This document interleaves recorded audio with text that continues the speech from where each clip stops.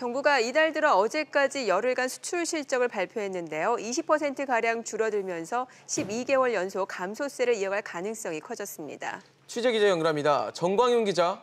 네, 정광윤입니다. 아, 이번 달 수출도 불안하게 출발하고 있다면서요. 네, 관세청에 따르면 이달 들어 10일까지 수출은 119억 달러로 지난해 같은 기간과 비교했을 때 20.8% 줄었습니다.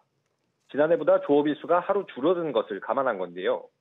월 수출액은 지난해 12월부터 지난달까지 11개월 연속 감소세입니다. 이번 달 수출이 시작부터 부진한 모습을 보이면서 1년 연속 감소세가 이어지는 것 아니냐는 우려가 나오고 있습니다.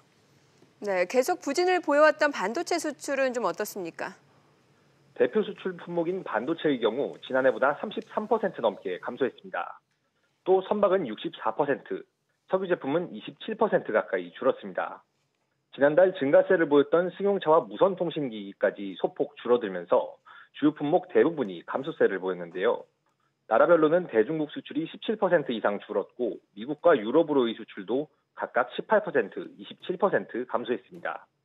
무역 갈등을 빚고 있는 일본에 대한 수출도 15%가량 줄었습니다. 네, 뭐 수출 짚어주셨으니까 수입 상황도 좀 짚어주시면 좋을 것 같습니다. 네, 이달 들어서부터 어제까지 수입은 123억 달러로 전년 대비 21.5% 감소했습니다. 특히 석유 제품은 54% 급감했고 원유도 25%, 승용차는 26% 줄었습니다.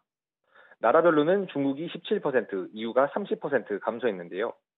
무역 갈등 중인 일본에서의 수입이 28% 가까이 금값했습니다. SBS CNBC 정광윤입니다.